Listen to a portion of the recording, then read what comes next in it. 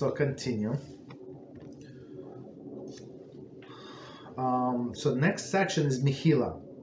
So Mechilah is uh, forgiveness, right? We ask forgiveness. The, the obligation. So it's probably a big section. Yeah, the obligation.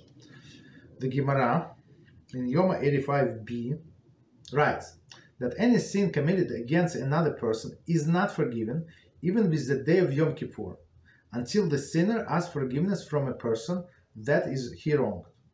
In truth, this applies throughout the year. A person should add others to uh, forgiveness at the first opportunity after committing a sin.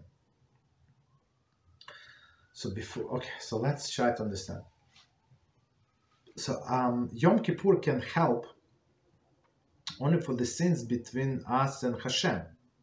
So, and even if other, other like uh, if we wrong someone, and we ask that person forgiveness, uh, we have to still ask forgiveness of Hashem, because Hashem, for sure, in His holy Torah, He told us not to do that. Whatever we did, whatever it says many many times, like in read we read in Chafetz Chaim, how to not to wrong other people, right? So, uh, person did, so he did two two ways. First, he went against another person, and the second, uh, he went against Hashem. So this, uh, if other person forgives you, right? So the second part is uh, is ask forgiveness of Hashem, right? So, but but Hashem will not be able, and he Hashem is His greatness. He limited Himself, and He said, "I cannot forgive you." So I, I know in church they say, "Yeah, yeah, you can uh, you can do whatever you want. You can continue hitting your your wife." okay, but uh, if you keep on coming, they put uh, like uh, 50 bucks every time you hit your wife.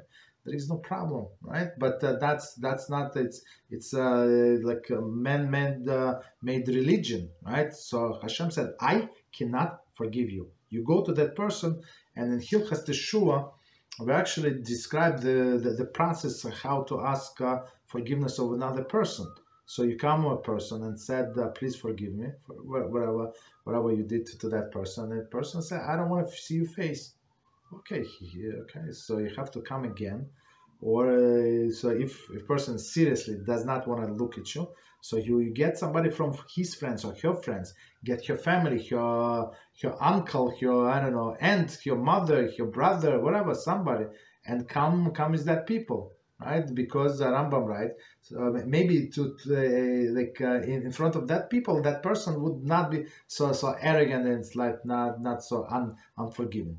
So maybe because because of them, they would uh, they would be more uh, more forgiving, right? So and and you you have to try at least three times, at least at different circumstances, right? So if you try three times, and uh, there is obligation on the person to forgive others so if that person does not want to forgive, that's it. I mean, uh, you you clean.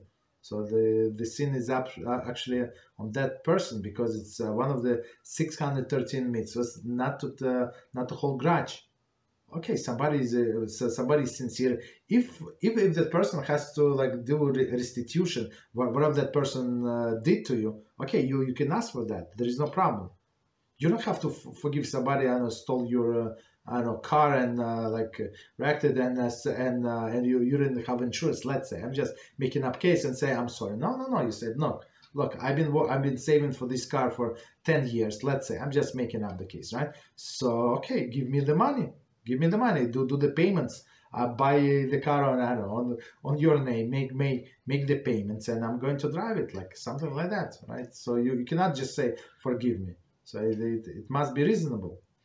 You understand? So, but uh, even if somebody like pay you back and did all of this and give you gifts, so one one part of um, of uh, this um, mehila, right? So it's uh, to to to do all of this restitution, and then you have to like, for example, car was like let's say fifteen thousand dollars and not new car, so uh, they pay you fifteen thousand dollars, let's say, right? But it's not enough, so that's only only for that part, but only to uh, but also to appease the person, appease I don't know, like uh, buy cakes, I don't know, buy buy some some good things, do do some good things for that person to appease, right? It's not uh, it's not so simple. But uh, if after the third time this uh, the, the, this person is unmoved so it's uh, up to uh, it's uh, it's uh, it basically on their head unless it's a great rabbi, and unless it is a Talmid Chacham. In that case, you have to ask. Rambam said up to like no, he said even not not up to, even one thousand times. One thousand times if you don't do every day, so you can see it could be like ten or twenty years. Okay, so be careful not to insult Talmidei Chachamim. Okay, so that's uh, like introduction to this topic a person should ask other to forget. Uh, so okay, and so, like sometimes I'm, I'm, sure all of you experience also like sometimes like uh, people send broadcasts like message to probably to the whole phone book. Please forgive me all the text. Like I, I usually ignore. I, I never reply to this because it's not sincere. Like uh, maybe he offended me, maybe he did not offend, but it's fake. That's now that's not how you you you, you ask forgiveness. You understand? Um, okay. Oh, and of course, authors say a person should ask uh, others for forgiveness at the first opportunity committed. Not, not uh, don't wait until Yom Kippur. First opportunity. Yet, if the sinner honestly cannot find the time to seek uh, out the person she wronged, right? She may delay until the first opportunity she she has. Okay, so you were busy kids, this and that. Okay, but now, like a, a month later, you have time, so do it now, as soon as possible. However, during the days of leading up to Yom Kippur, a person must make uh, it her business to seek out all those who she is wrong and ask them for mechila.